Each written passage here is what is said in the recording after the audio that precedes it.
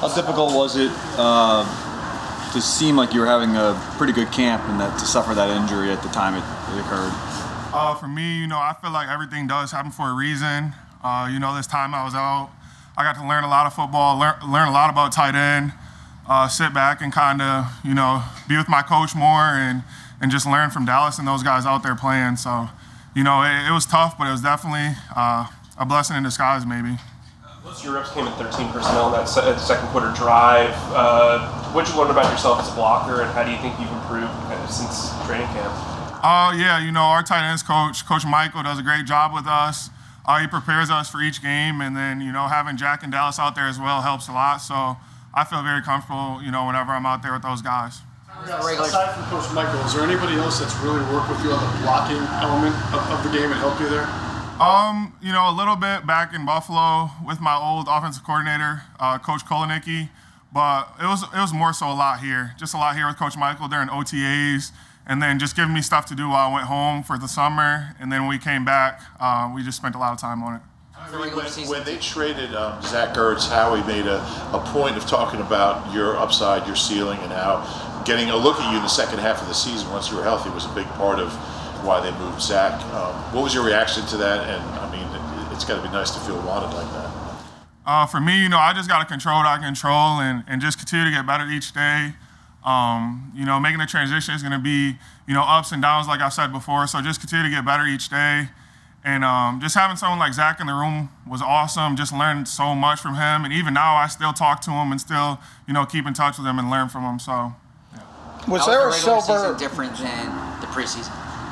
Uh, it just it, it means a lot more, you know. In the preseason, it doesn't count for wins and losses. The regular season does, so it just means more. And you know, attention to details got to be there. And like I said, we have great offensive coaches that get us prepared each game, and you know, we know what we're supposed to do out there. As far as though as the way the defenses were playing or or the opponents you were going against, did you notice any difference there? Or is football football? Uh, you know, obviously, you know, each game is more important and more important. And like I said, they prepare us well. So we're more so just worried about, you know, executing what they call our coaches and not so worried about, you know, other things. So we just have to control what we can control. You mentioned um, that watching benefited you. What were some of the things that uh, you picked up just from watching that maybe you ha- you wouldn't have noticed had you been in there? Uh, you know, well, I got to watch a lot of film. You know, I was out, I watched a ton of film, watched a lot of target cut-ups of, you know, the good tight ends in the league. And then, you know, I, I feel like we have had two great tight ends in our room with, you know, uh, Zach and Dallas. So to watch them, how they practice, how they go about the week, game week, what days they watch film, what they do to, you know, make sure their body feels 100% when they get out there. So those are just things that I got to learn. When you get on the field and you lined up there, the Denver, I mean, uh, they, they kind of took a look at you and then they called timeout. Did that make you, did that surprise you when you were out there in formation or?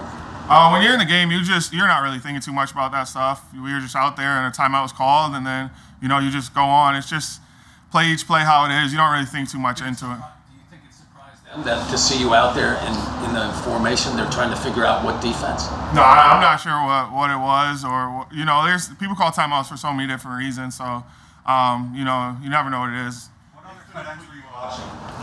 Yeah, uh, a lot of Travis Kelce, like Darren Waller, Gronk. Um, you know, just you know, just just the guys like that. And then, like I said, I watch Zach and Dallas a ton, and even uh, you know having Noah here, Jack, Richard Rogers, just watching those guys work in practice as well. So it's been it's been beneficial. How, how much easier was your rehab, or not easier, but just being motivated knowing they kept you on the 53 at final cutdown didn't put you on IR first, so you could come back.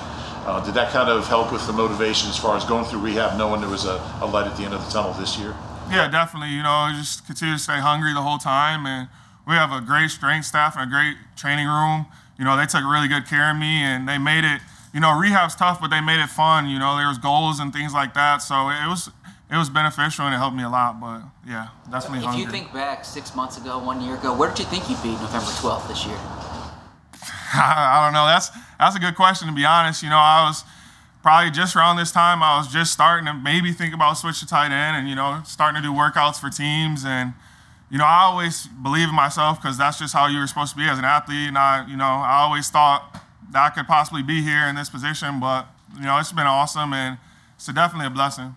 Do Four for Tyree. Do you, do you feel like a tight end now? I mean, or do you still feel like you're a quarterback playing tight end? No, I feel like a tight end. Ever since OTAs, when I put my hand in the dirt, that's when I felt like a tight end. So obviously, there's going to be you know learning curve and, and growing each each day, but I definitely feel comfortable. From a sentimental standpoint, uh, from a sentimental standpoint, last week was your first game. Did you kind of keep any keepsakes or, or anything uh, to kind of thought of the moment since you've had such a such a road to this? this? Uh, no, I definitely tried to enjoy it, but I didn't want to make it any bigger than it was. You know, like you said, it was a long time coming, but um, at the same time, it's just football. And you got to go out there and you got to, you know, do what do what you're supposed to do. So I didn't make too big a deal out, but it was definitely a blessing. Just real quick, uh, what was exactly was the injury, and, and, can you give us a little more detail of about the, the rehab and that process? Yeah, it was just basically what what was told. Uh, just my back. So you know, the rehab was just me continue to get, you know, in shape, back in shape, get back strong, you know, and those things, and just doing whatever the training staff asked of me. So that was really all.